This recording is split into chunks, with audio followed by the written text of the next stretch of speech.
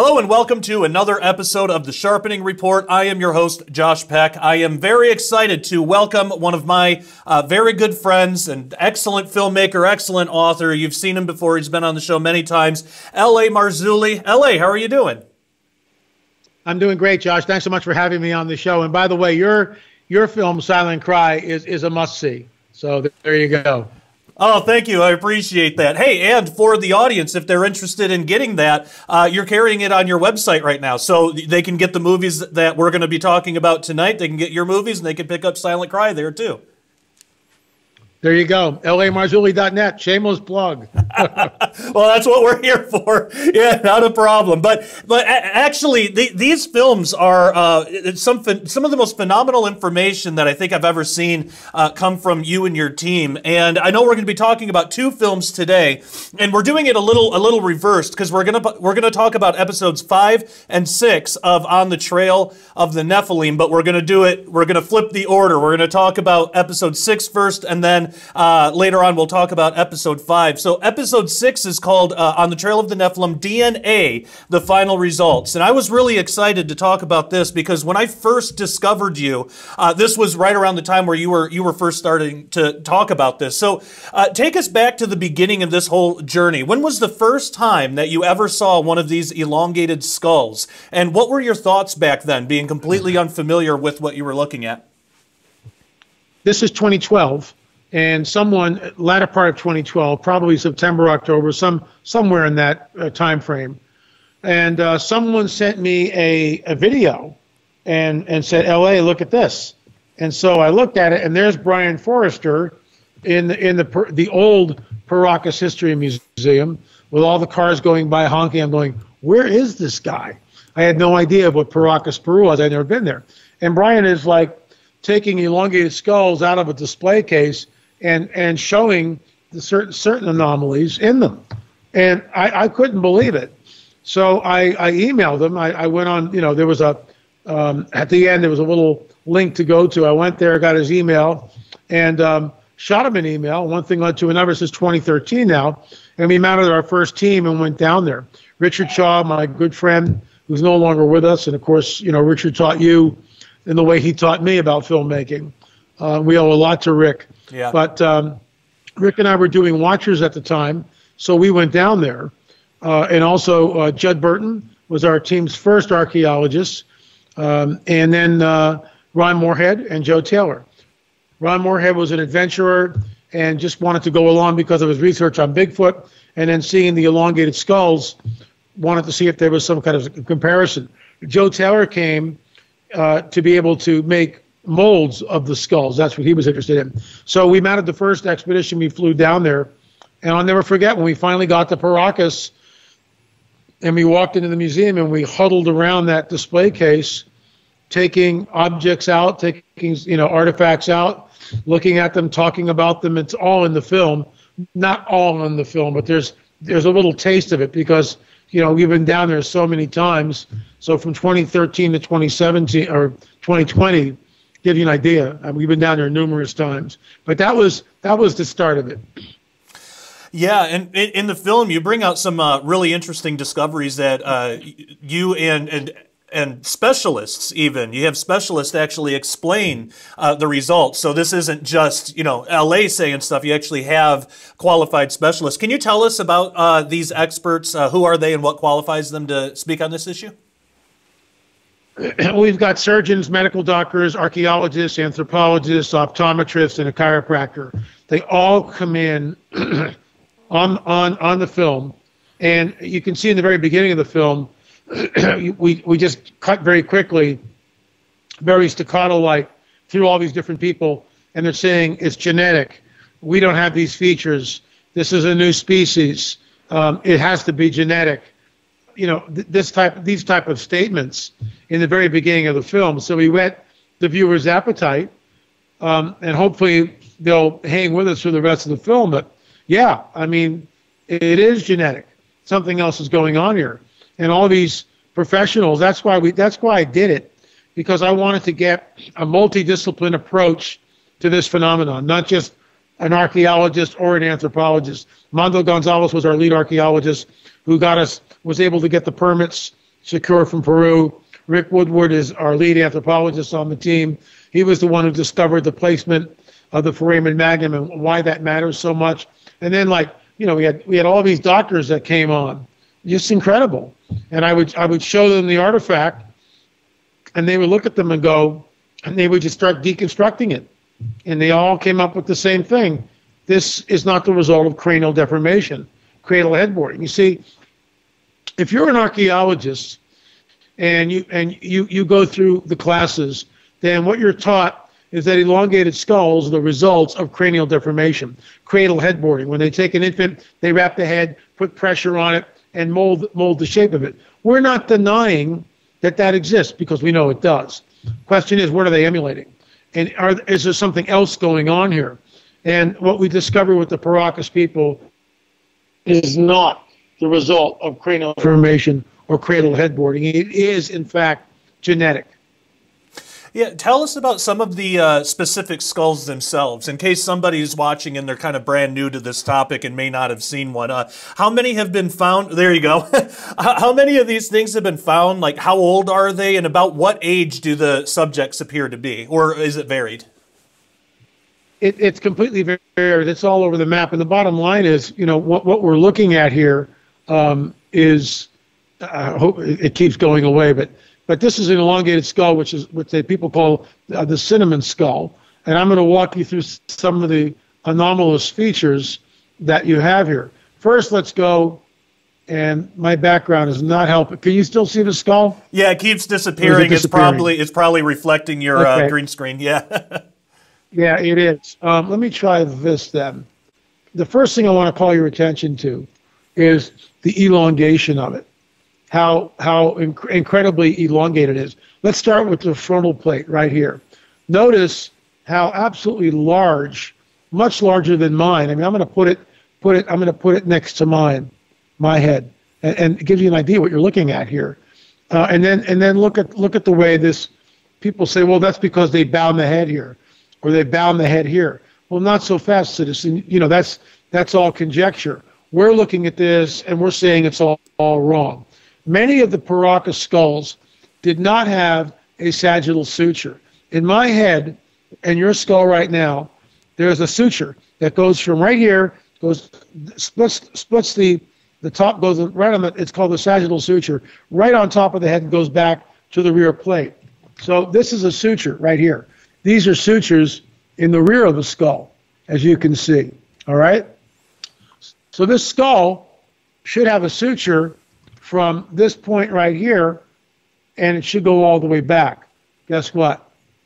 There it is. And there's not even a vestige of it. There is a disease called craniosynostosis. But when craniosynostosis occurs, you usually get something that looks like this. It'll it'll kind of ridge up where that was, where the suture once was. You'll still see vestiges of it. Here, you don't see anything, not not even remotely a trace. So, the first thing is there's no sagittal suture. And the suturing of the rest of the skull is basically all wrong. One of the biggest smoking guns that we discovered, and this is the work of our anthropologist Rick Woodward, that when he examined, I sent him four or five molds. And by the way, the mold you're looking at was done by Joe Taylor. Uh, he molded all the skulls, including this one. He's an expert at it. So what, what, what Rick discovered was, let's turn the skull over and look at the bottom base of a skull, which is what he did. This hole right here, and uh, Joe has created a, a hole so he could put the dowel in it.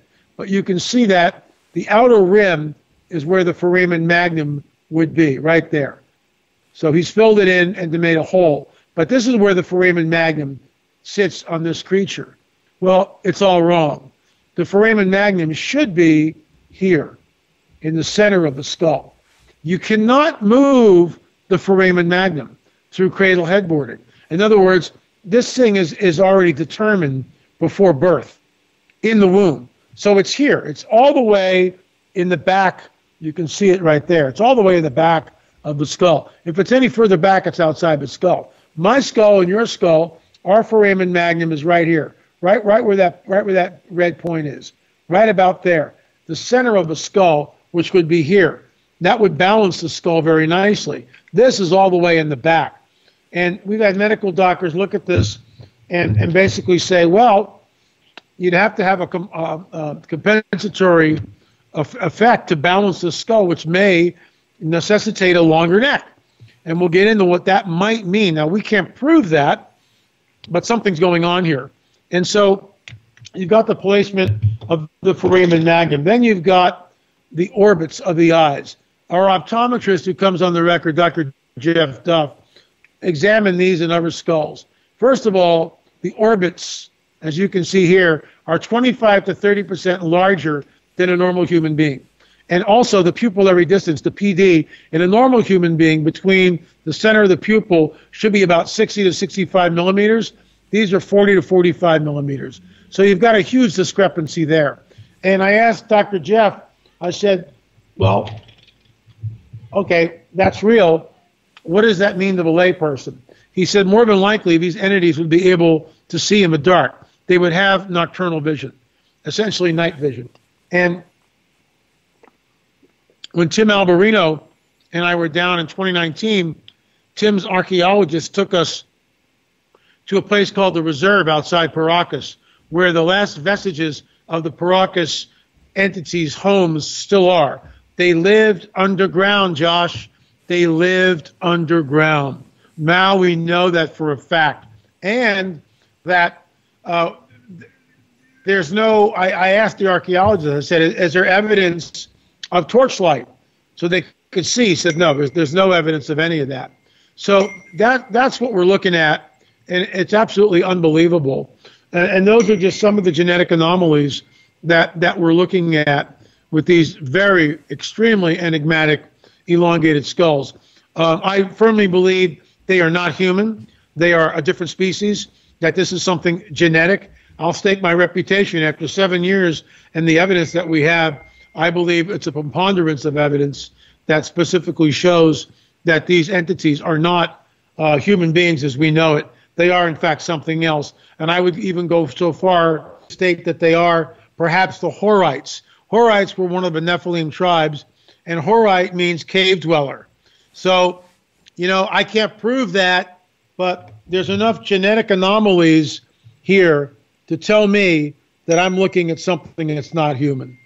And, could these, because uh, I don't know anything about, um, you know, I don't have a medical background, and mo most of the audience uh, don't either. But but you've had experts on the film that do have medical backgrounds. Could any of these be explained just by uh, deformities, or would it be like multiple deformities where you would have to find the same set of deformities throughout all these skulls, and then the chances of that are, are just impossible, or is it a, is it a whole bunch of different ones? Well, they, they pretty much the ones in Paracas have these features, mm-hmm. and then it all disappears. It all just kind of goes away, and we don't know. No one knows what happened to the Paracas people.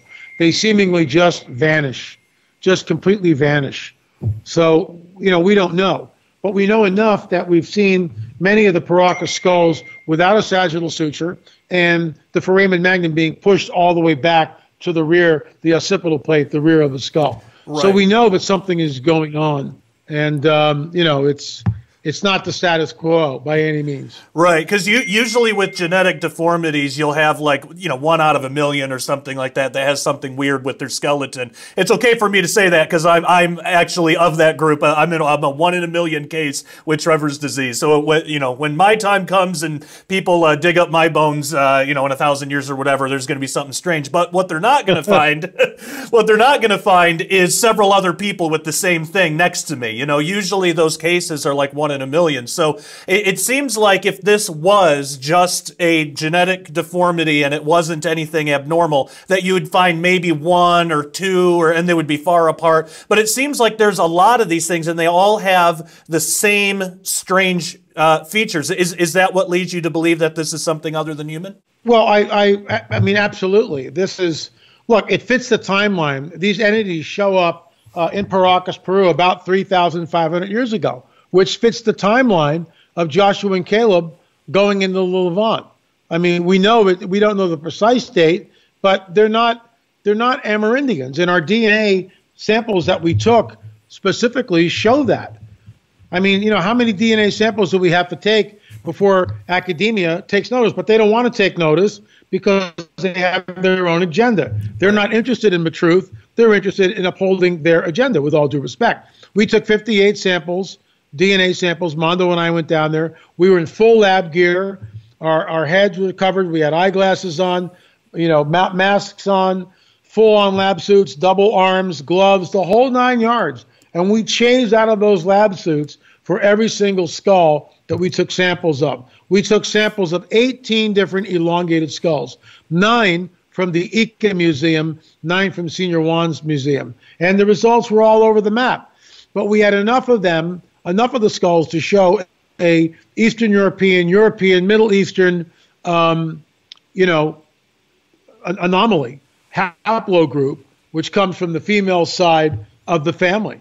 So, you know, out of the 58 samples we took, 28 of them sequenced. Out of the 28, a preponderance of them showed a Middle Eastern slash, um, you know, European haplogroup from the maternal side, from the mother's side, mitochondrial DNA.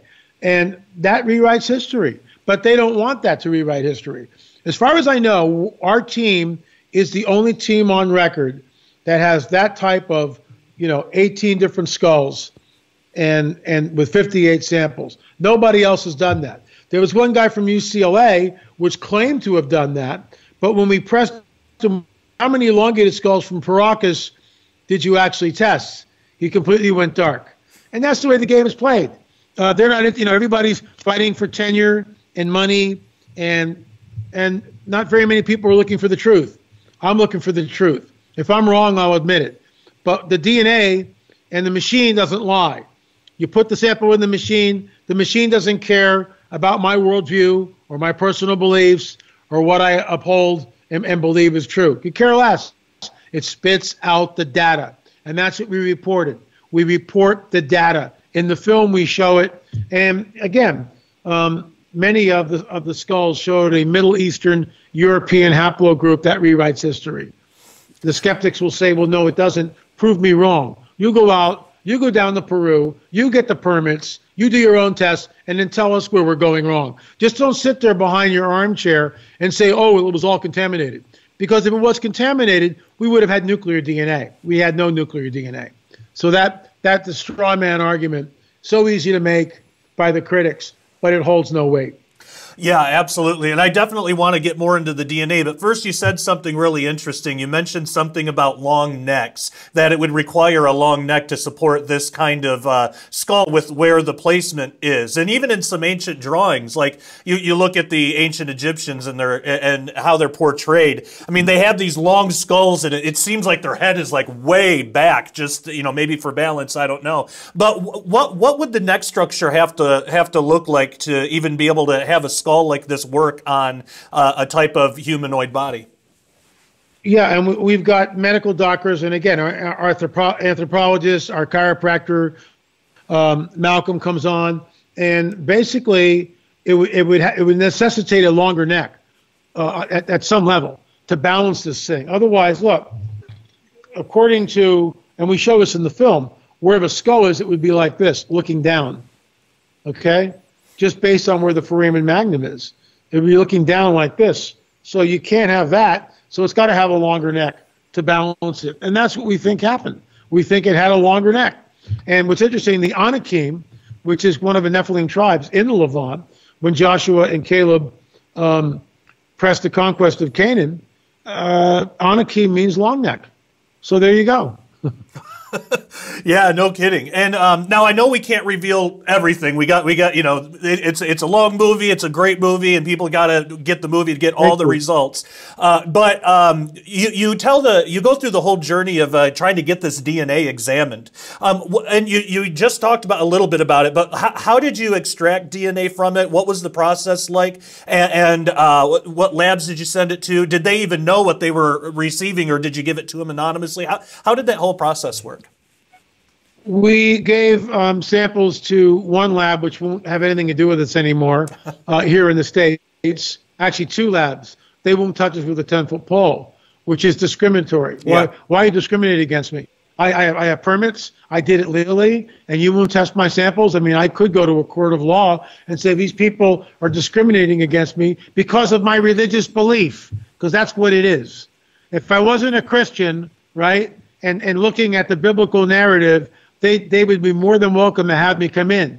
But because I'm a born again, spirit filled Christian, and my hypothesis, which is the scientific method, is that these are the remnants of the Nephilim, they don't want anything to do with me. That's discriminating. And I, I'm actually thinking about bringing a lawsuit against these labs. Not that I would win, not that I want any money, just test my samples and do it in an above board way and quit poisoning the well for other labs. So these two, these two labs that tested things for us, they will no longer get near us. But they tested the baby mommy skull, which we unwrapped, and it was U2E1. They had no idea what they were testing. We tested it three different times, two different labs. The other that lab was Paleo DNA in Canada, who will run our samples, at least so far. And it came back again, three different tests, two different labs, U2E1, which is Eastern Europe. Well, that rewrites history. Now you can say you can give me the straw man argument. Oh, it's contaminated. Well, why is it contaminated? You know, why why do we believe that you say it's contaminated? We say it's not. So who who are we to believe when our protocols were stringent and above board and as good as anybody else could do? And we did, we did the test three different times, two different labs. So what's it contaminated with? That's Eastern European. That shouldn't be there. It should not be there, and yet it's there. So, and that wasn't that wasn't the only skull. The other two skulls that came from that same grave, we also tested. They came up U2E1. Apparently, it was like a family grave, and we had samples of all three, and they all came back U2, U2E1. So there you go. I was going to ask you what what is the most shocking thing that came out, but I do want to I do want to uh, have people get the movie. So what what was the second most shocking thing that uh, came out in uh, this film? well, I mean, I mean, th- to me, the Foramen Magnum uh, is is a smoking gun. The placement of the Foramen Magnum is a smoking gun. There's no doubt about it. But when you and remember, as and you're an editor, you're a director, so you know you know what we go through. Oh yeah. We watch and watch and watch and watch and watch and go over and over and over again. We live and breathe the film until it's done.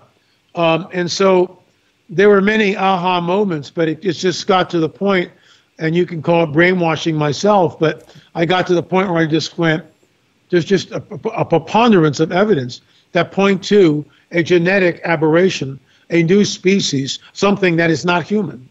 It's not human. So it was sort of like a culmination of everything, all the experts, all these different disciplines brought to bear on on the elongated skulls that just I just went, oh my gosh, it's true. Now the academia may never embrace it. I really don't care. I've done my homework, um, and by the way, you know this this wasn't some afternoon lark. This was a seven-year study, on and off, seven-year study, and it cost tens of thousands of dollars. And I want to thank our donors who still remain anonymous. For it was a couple that gave us lots and lots and lots of money to be able to do this. We were able to mount the teams to go down to Peru, and every time you go down there, it's 15 to 20 grand with three or four or five people. If it's five, it's more, you know, and, and, and all this stuff. Um, labs are not cheap, so it, it adds up. And uh, we, we went through a lot of money. But I think the results speak for themselves that, um, you know, we what we uncovered, in my opinion, were either the Anakim or the Horites. People go, well, the Nephilim were giants. No, some of them were giants, not all. And that's why there's different different tribes that seem to have different characteristics. In other words, Anakim means long neck. It doesn't necessarily mean giant, but we know that the giants were there. So it's not either or; it's both and. And unfortunately, more more information needs to be uncovered. But when these things are uncovered, it's immediately, you know, swept under the rug, whisked away to some museum, and, and the public never hears about it.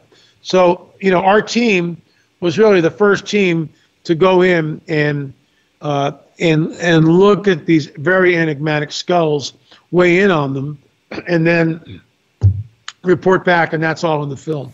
Well, it's a, very, it's a very well put together film. You you and your team did a phenomenal job. Um, I really believe that Richard would have been. Uh, oh, you're welcome. I, I, really believe Richard would have been proud of that, and I, I loved the the uh, memorial at the end that you guys put in there. Beautifully done. Um, where can Thank people? Uh, absolutely. Uh, where can people find the movie, and uh, where can they follow you online and support you? Well, there's there's two ways to get it. If you want to get the hard copy, you go to lamarzulli.net, lamarzulli.net, and you can buy um, there's now six episodes in the series. I'm working on number seven and eight, and uh, you can procure the hard copies. If you want instant gratification, our streaming site, streaming.lamarzulli.net, streaming.lamarzulli.net, you can download all six and, and binge watch them for under $25, I think. So pretty cool. Awesome, fantastic. Well, I highly suggest everybody watching go and do that. Uh, we got a lot more to talk about because LA also has another film, episode five, Axis Mundi, the Mundi, the center of the world. But we are going to save that for members only. So if you're not a member, head on over to dailyrenegade.com and get a membership today. It's only ten dollars a month or hundred dollars a year. If you can afford it, get that because then you get two months for free. You just pay for it once. You don't have to think about it for a whole year. It's a great deal. And uh, just a reminder, we're doing that because YouTube got in the nasty habit of deleting our videos. We want to be able to protect our content. We want to be able to say whatever we want to say when we want to say it. Uh, and Christianity, just by nature, is controversial to the world. So if we want the freedom to be able to uh, speak our minds and spread the gospel of Jesus Christ uh, to any and all who will listen, sometimes it costs money to do that. So uh, in order to house our videos, we do that over at dailyrenegade.com, uh, where YouTube can't touch it. They probably will uh, delete this channel because they deleted our last one. And uh, so if they do, just head on over to dailyrenegade.com. You'll be able to find all of the full versions of our videos, all of the full episodes of every show we have. It's not just Sharpening Report. Uh, we also have um, JPD Weekly. We have Christian Contrarian with Gary Wayne. We have uh, Christian Marauder with uh, Brian Melvin, several others. Make sure you check that out, dailyrenegade.com. All right, if you are a member, hold on the line. And everybody viewing for free, thank you so much. And until next time, take care and God bless.